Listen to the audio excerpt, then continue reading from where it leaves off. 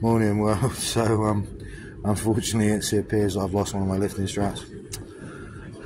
Excuse me. Hey ho. Uh, so um, I'm having to go old school.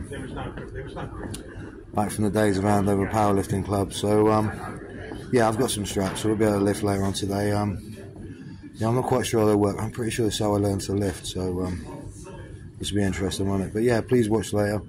Um, keep watching the channel, guys. As you see, it's being promoted. Uh, there's a lot more truths to come out.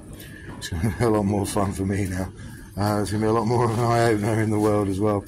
It's about time. I've had a conversation with a few people in the last couple of days. We've actually been discussing. This tech's already proven. It's been proven for decades. I mean, the technology was known before microwave ovens came out in people's homes. So do some research for once, people.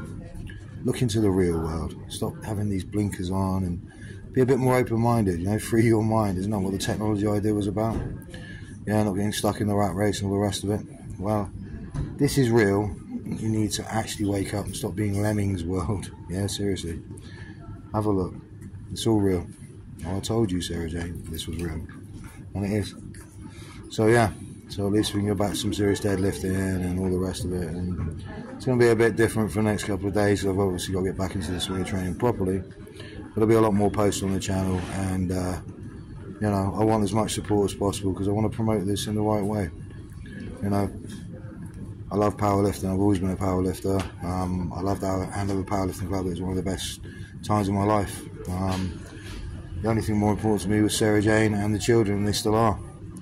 You know, and um, what's happened to us is a disgrace, and I'm not going to have it happen to anyone else in the world. So now the channel's about that. I'm making sure you understand what's going on in my life because of all this. And I'm not backing off, backing down, or changing who I am to suit other people. That's just toxic. It's ridiculous. Anyway, see you soon, guys.